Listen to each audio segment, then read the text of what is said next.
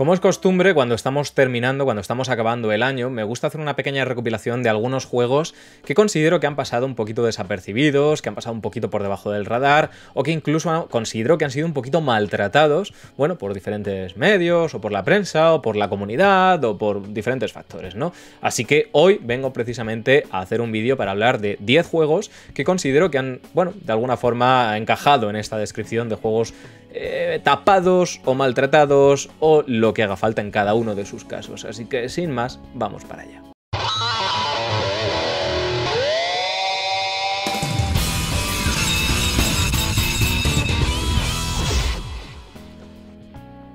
Muy buenas a todos sotaneros, bienvenidos aquí a Puerta al Sótano, bienvenidos a un nuevo vídeo. Y como digo, en este vídeo quiero hacer una pequeña recopilación de 10 juegos que considero que durante este 2022 han sido juegos un poquito, bueno, mm, condenados al ostracismo, olvidados, maltratados, eh, tratados de una forma injusta, evaluados mal, no lo sé, ya depende del caso de cada videojuego en concreto y de eso vamos a hablar aquí hoy con una lista de 10 juegos, como digo, que, que he hecho, ¿no? 10 juegos que bajo mi punto de vista de alguna manera o de otra merecían más, ¿vale? Y lo vais a entender con cada uno de ellos que tienen sus casos particulares.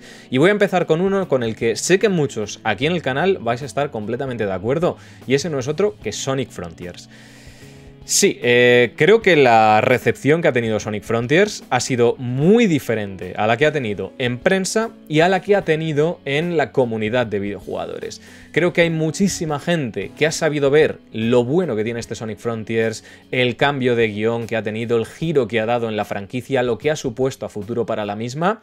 Y además de eso, pues también las muchas cosas que se han hecho bien con Sonic Frontiers, a pesar de que, como ya he dicho muchas veces, sigue siendo un juego que todavía le falta mucho por recorrer y mucho que mejorar para ser pues esa obra maestra que realmente merece el erizo. Pero sin embargo, sí que ha sido el juego para, para la franquicia, ¿no? Sí que ha sido el camino a seguir, sí que ha sido el juego que necesitábamos también los fans. Sin embargo, como ya habéis visto, la crítica ha sido muy dispar tanto en la crítica profesional como en la crítica del público. O sea, quiero decir, ha habido una discrepancia muy grande. La crítica profesional ha sido muy dura y yo creo que esto ya lo dije en su momento, es por la costumbre de que Sonic, a ojos del mundo, es como el saco de boxeo donde muchas veces la crítica profesional se desahoga y tiende a penalizar muchísimo más las cosas que en otros juegos pasa por alto, ¿no? Desgraciadamente Sonic se ha convertido en un saco de boxeo para ciertos medios y eso es algo inadmisible bajo mi punto de vista. Precisamente con un juego que considero que ha conseguido hacer las cosas muy, pero que muy bien en muchos aspectos. Y a la vista está que a la gente en general le ha gustado muchísimo. Pero cuando digo muchísimo es muchísimo. Casi ganando el premio a juego elegido por los jugadores en los Game Awards, siendo un juego que en la puntuación de los usuarios en Metacritic tiene muy buenas referencias, aunque ya digo que esto no vale para nada porque habrá millones de personas dándole un puto 10 y el juego no es un 10. Le duela a quien le duela, no es un 10 de Sonic Frontiers, etc, etc. Entonces, bueno, pues sí considero que en general se ha sido muy injusto con él, aunque bueno, es un título que ha salido al final pues bien parado yo creo por la recepción del público y en ventas eso se ha visto reflejado con 2,5 millones en su primer mes, así que bueno, pues ni tan mal, pero considero que efectivamente pues ha sido un poquito maltratado, ¿no? En ciertos medios. Y eso, bueno, el 2 que le pusieron en no sé qué medio a mí me pareció ya un despropósito directamente. Así que bueno, continúo, intentaré no enrollarme tanto, porque si no este vídeo va a durar 10 horas y no pretendo eso.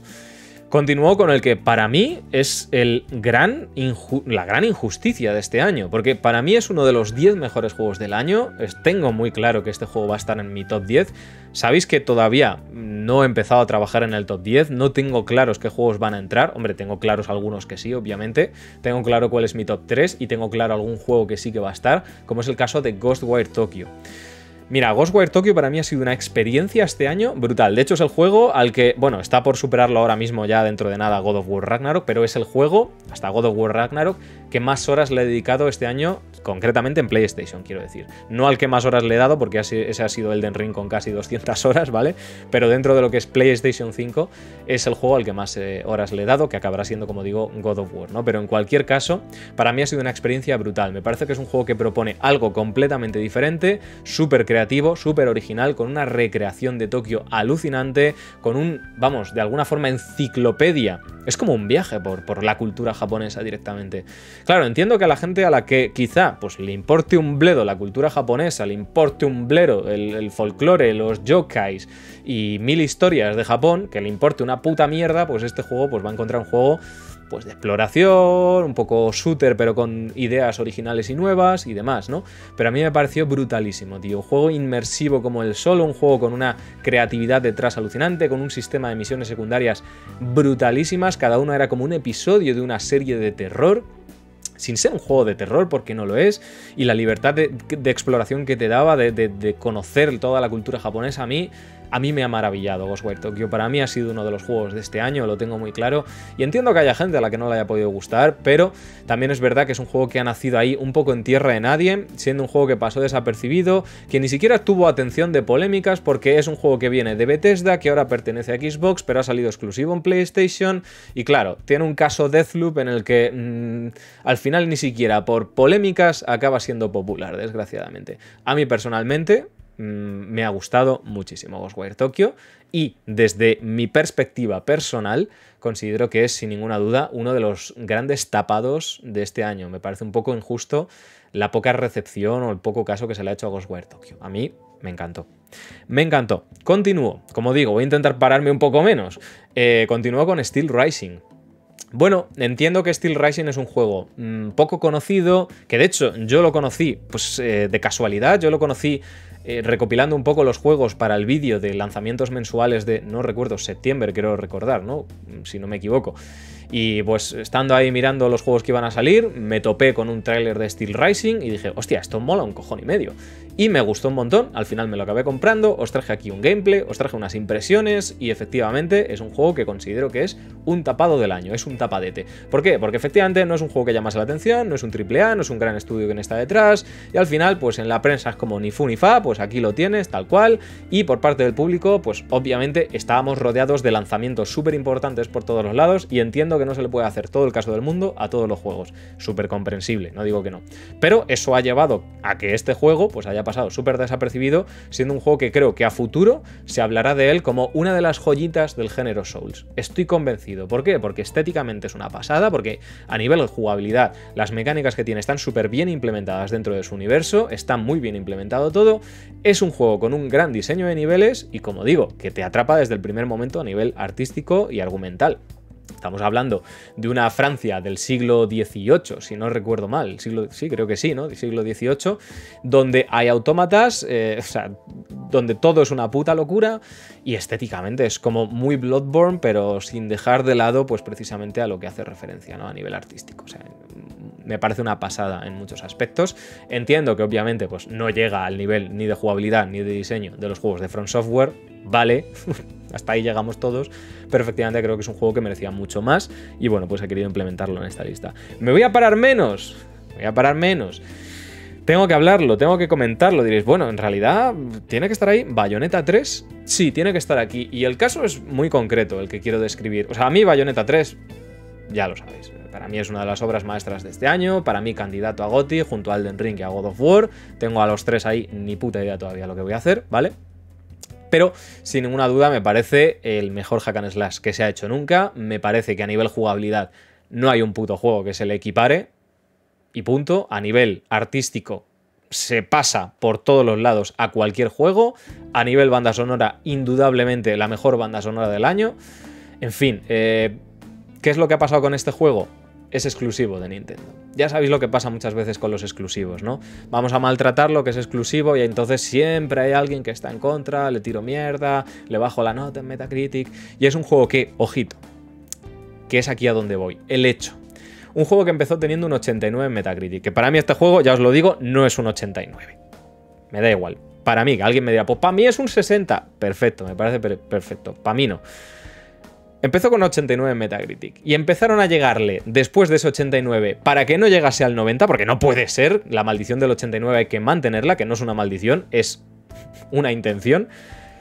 Empezaron a llegar notas, análisis a posteriori del lanzamiento del juego bastante bajitas, un poquito sospechosas, a empezar a bajar esa media, empezar a bajar esa media hasta bajarle hasta el 86. ¿Qué dices, ¿esto es un juego de 86? Pues puede serlo perfectamente, si yo no digo que no se corresponda, pero que intencionalidad de joder Bayonetta 3, a verla hubo. Y eso me toca los huevos. Porque me parece un juegarral, lo sabéis todos, como un puto templo. Pero bueno, Injusticia, injusticia, ahí está. Esa es la injusticia con Bayonetta 3.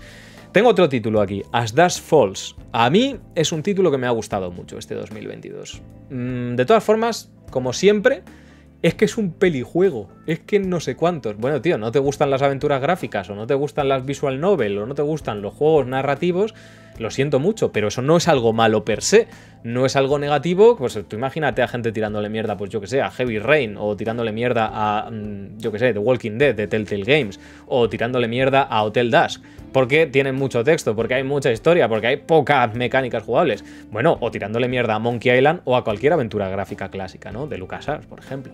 Entonces, eh, lo de Atas Fox eh, ha pasado un poco, ¿no? Que la gente, no, es que es un pelijuego, no, es que no, no sé cuántos, es que... Eh, tío, es un drama interactivo en el que tomas decisiones que tienen muchísimo peso en el desarrollo, de, pero mucho peso en el desarrollo de la historia y que encima se puede jugar con más personas para tomar decisiones democráticamente, lo cual lo hace un conflicto que te cagas y encima puedes vetar a la gente a la hora de... Es la hostia. Tenéis análisis en el canal de todas formas, ¿eh? Y me parece que es un juego que, siendo de, bajo mi punto de vista, uno de los tres títulos más importantes que ha tenido Xbox este año, pues al final ha sido como tapado encima, ¿no? O sea, me ha parecido tremendo.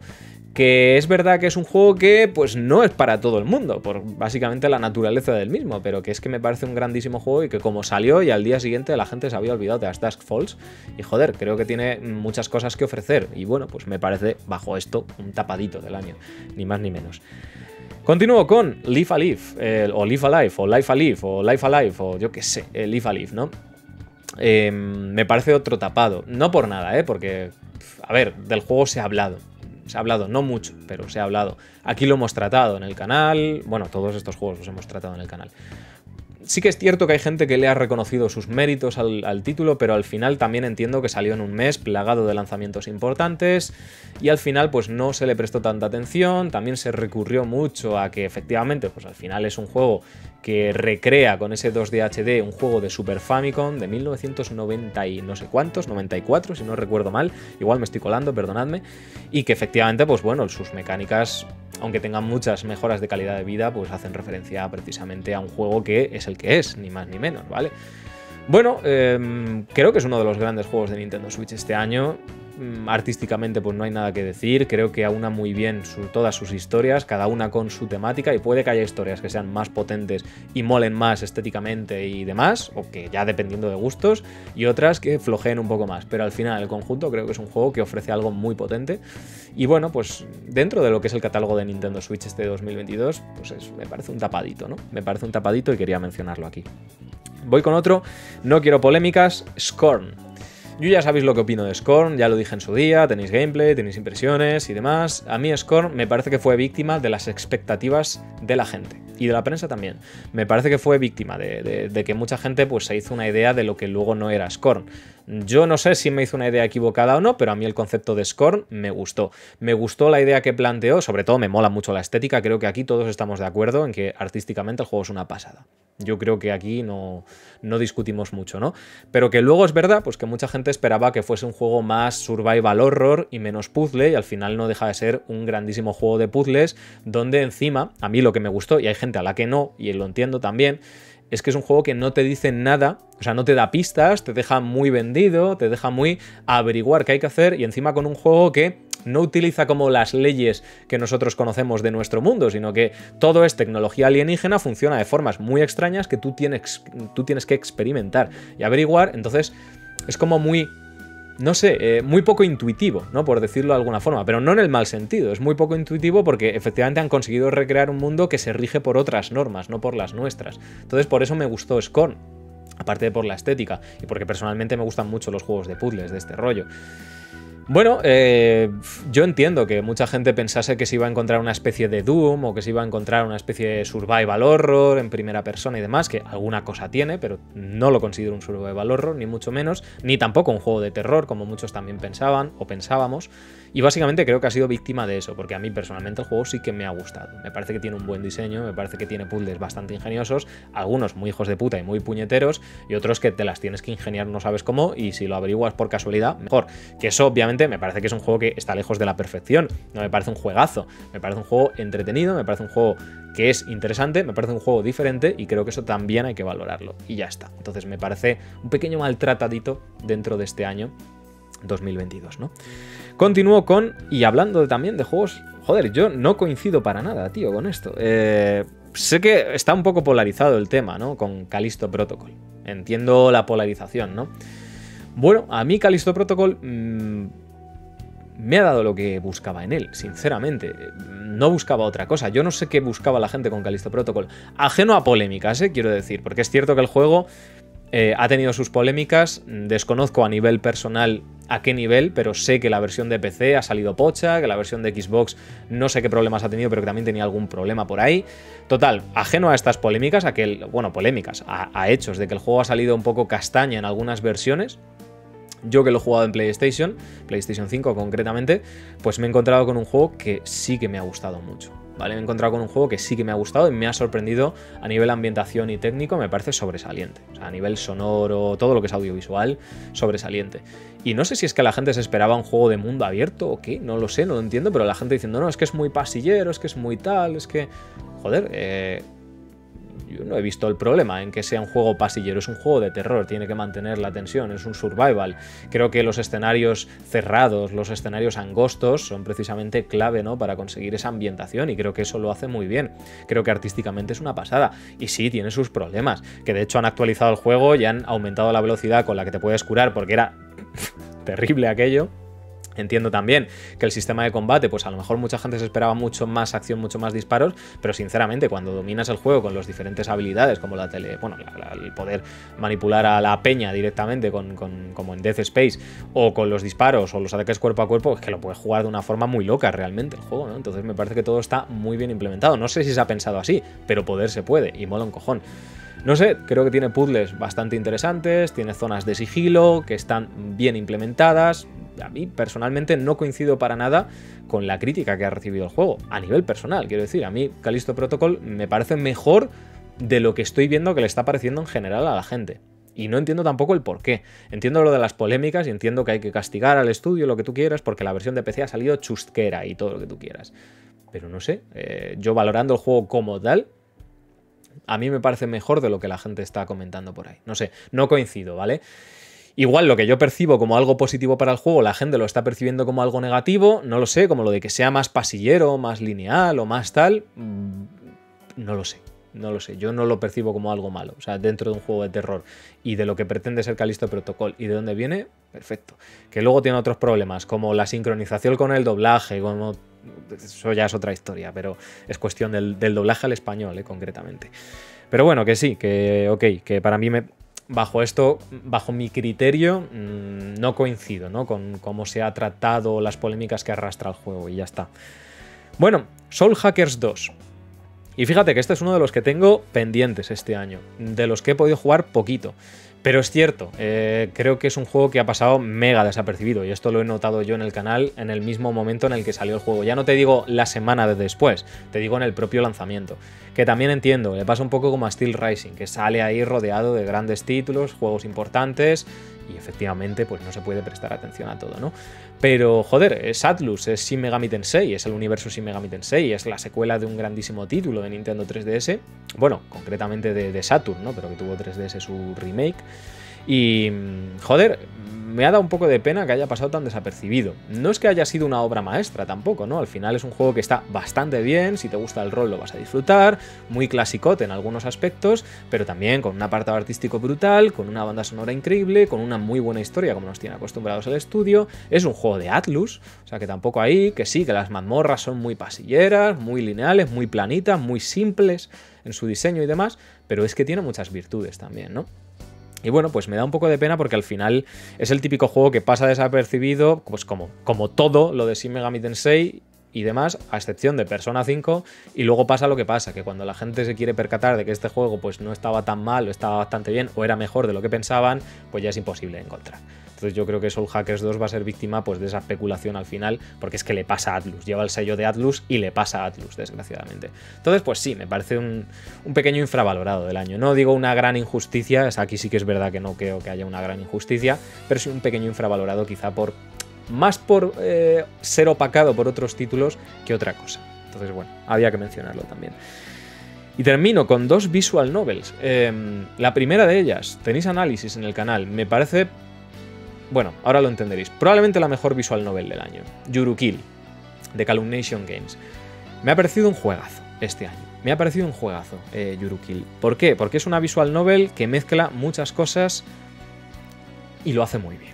O sea, no solo es voy a coger esto de aquí, esto de aquí, esto de aquí, sino que todo está implementado. Para empezar, Yurukil es un juego que te cuenta una historia de personas que han cometido crímenes y que han sido como abandonados por la sociedad y los meten como una especie de juego muy bestia en el que el que sobreviva es absuelto de los cargos del crimen que ha cometido, ¿no? Nuestro protagonista no sabemos si realmente es culpable o no, ¿vale? Yo lo dejo ahí, pero participa en estos juegos y tendremos que, de alguna forma, salir victoriosos en cada uno de ellos. Claro, ¿qué es lo que pasa? Que implementa mecánicas tipo interrogatorios, juicios, presentado de pruebas y demás, como Phoenix Wright. Tiene puzzles al más puro estilo, eh, pues Profesor Layton o Hotel Dusk y demás tiene eh, mecánicas y demás de Danganronpa. Y luego además tiene fases shoot up, pero muy bien, muy bien implementadas. Diréis, ¿qué tiene esto que ver? Jugad al juego y lo averiguaréis.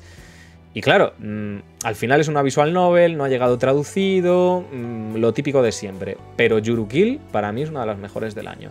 Merece mucho la pena. Merece mucho, mucho la pena Yurukil, ¿no? Entonces, bueno, pues eh, yo qué sé, pues cosas que pasan. Mm, obviamente es un género del que ya se habla poco de por sí, pues Tampoco hay mucho que añadir aquí. Muy bueno, o sea, muy recomendado Yuruki. Ya está. Y para terminar, el único juego de esta lista que no he jugado. Y dirás, ¿no lo has jugado y lo vas a meter en una lista de juegos que consideras que bajo tu criterio han sido maltratados, olvidados, tapados y demás? Sí. Y dirás, ¿por qué?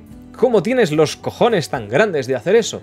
Porque es la secuela de uno de los, para mí, mejores, eh, de una de las mejores visual novel barra aventura, yo lo considero aventura gráfica, de los últimos años. Y ese es AM Somnium Files y en este caso su secuela de Nirvana Initiative. No lo he podido jugar este año, de hecho, lo tendría que haber metido en el vídeo de ayer de mis eh, grandes pecados. No lo he podido jugar, porque obviamente estaba a mil cosas. Eh, estaba a 250.000 juegos y no lo he podido jugar, no he podido sacar el hueco para jugarlo. No lo he jugado y aún así lo meto aquí. ¿Por qué? Porque ahí donde lo veis, es uno de los juegos mejor valorados del año unánimemente, de los juegos mejor valorados. También tengo, pues, eh, directamente la recomendación de gente que sí lo ha podido jugar y que efectivamente me ha dicho que no es que esté a la altura del primero, sino que consideran que lo llega a superar. El primero es increíble. Si esto supera al primero, telita, ¿no? Entonces lo he querido meter aquí, no porque considere bajo mi criterio, que no lo he jugado, como digo, que efectivamente sea así, ¿no?